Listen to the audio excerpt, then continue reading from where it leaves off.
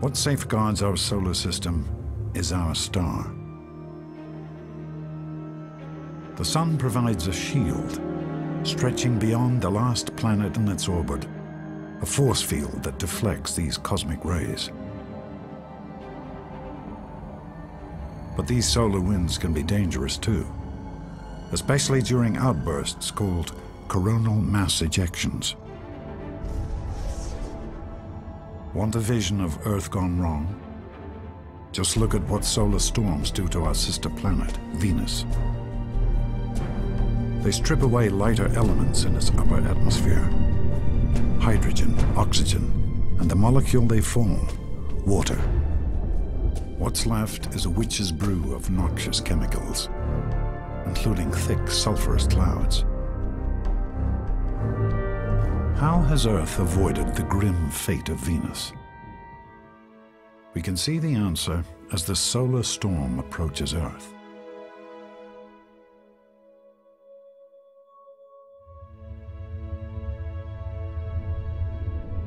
Our planet has a protective shield all its own.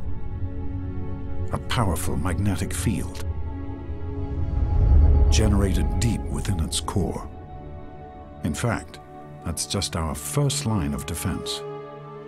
Much of the solar energy that gets through is reflected back to space by clouds, ice, and snow. The energy that Earth absorbs is just enough to power a remarkable planetary engine, the climate.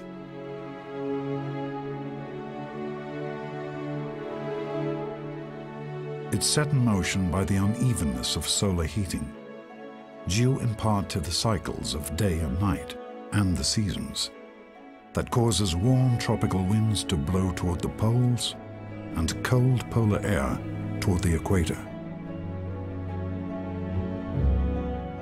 Wind currents drive surface ocean currents. This computer simulation shows the Gulf Stream winding its way along the coast of North America.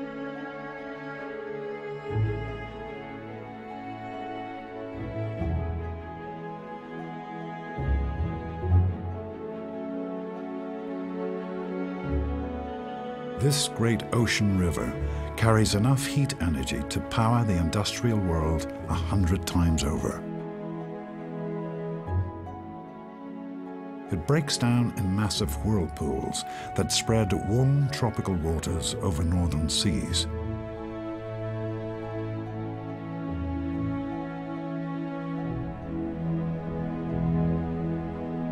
Below the surface, they mix with cold, deep currents that swirl around undersea ledges and mountains.